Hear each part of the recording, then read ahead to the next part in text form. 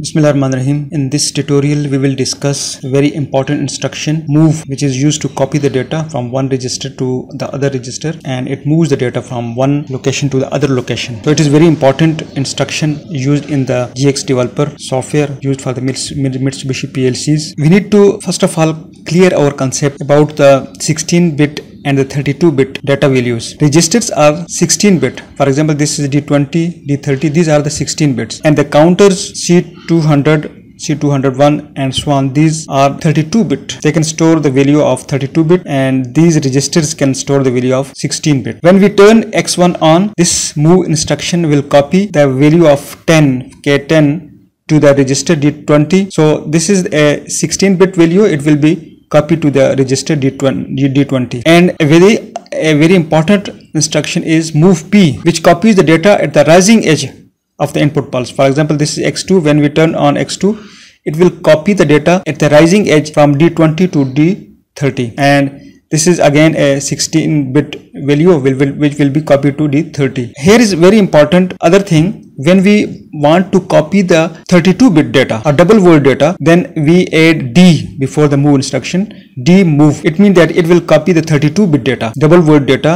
When we add D move it will copy C200 value which is 32 bit uh, counter. It will move it will be copied to the D40 and D41 respectively. We already know that D40 is a register which contains 16 bit data. It has 32 bit data. So it will not be occupied only in D40. It will also be transferred to the next consecutive register that is D40 and D41. So this data will be copied to D40 and D41. In the similar way, if we want to move a data with the rising edge, we will add the instruction P to the instruction D move D move P. This will transfer the data at the rising edge of the input pulse. For example, here, here is another scenario. Here we have the data registers D20 and D25. D20 we already know it is a 16-bit register. So it will move the double word value from D20 and the next consecutive register D21 to the register D25 and the next cons uh, consecutive register D26. We can, we can also confirm it from the manual. Here you can see that this is a auxiliary relay and when, when we move the value at the rising edge of the input signal, it will move the value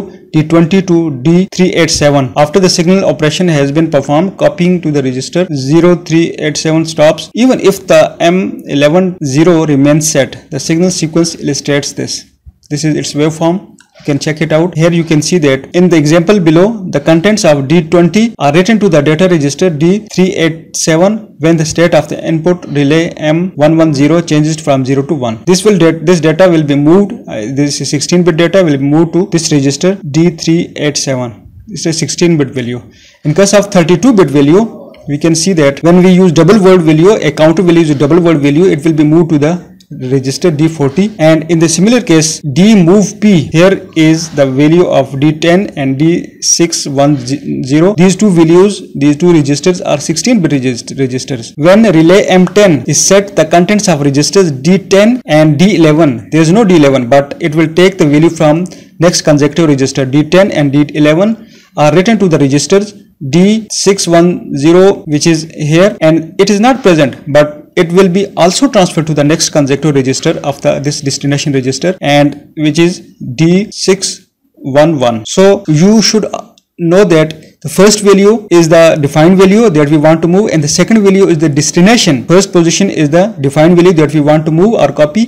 The second value is the destination. So when we have double word value, the first register value is 16 bit and the next consecutive register will be added to it D10 and D11 and it will be moved to the register D610 and D611 next consecutive register. In this way you can move the double word value here. This is the same thing and the similar thing. We don't have the double word value. We have the 16 bit value and we can check it out in this program. Write to PLC program execute yes